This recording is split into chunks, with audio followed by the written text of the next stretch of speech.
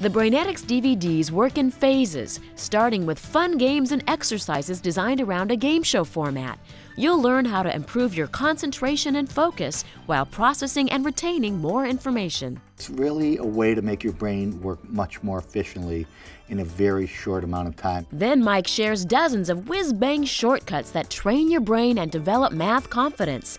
For instance, Mike's method for squaring numbers that end in 5 Take the first digit, in this case 2, and multiply it by the next number 3, which equals 6.